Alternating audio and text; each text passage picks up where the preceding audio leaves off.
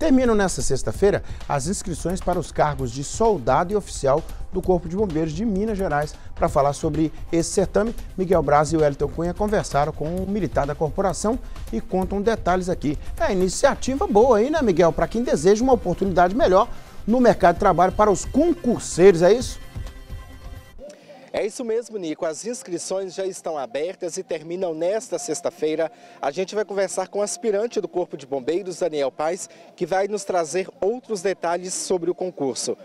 Aspirante, boa tarde para o senhor. Seja bem-vindo ao Balanço Geral. Fala um pouquinho para a gente. As vagas já estão abertas. Quantas vagas estão sendo ofertadas? Boa tarde. Nós temos duas modalidades de concurso, as vagas para os oficiais e para os soldados. Para os soldados são 291 vagas, mais 12 para especialistas. Para os oficiais são 21 vagas, mais 5 de oficiais da saúde. Também já foi divulgada a remuneração inicial, correto? Correto. Para os soldados, a remuneração inicial é de 4.130, mais ou menos, e para os oficiais, coisa de R$ 7.200. Em relação né, para se inscrever, há alguma restrição?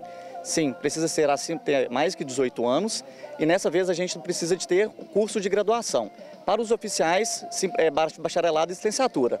Para os demais, é, tecnólogo é suficiente. Aspirante é uma boa oportunidade também para quem sempre quis entrar na corporação, Corpo de Bombeiros de Minas Gerais, tem que aproveitar, correto? Correto. Dessa vez é ampla concorrência. Não existe mais delimitação de vagas para o sexo masculino ou feminino.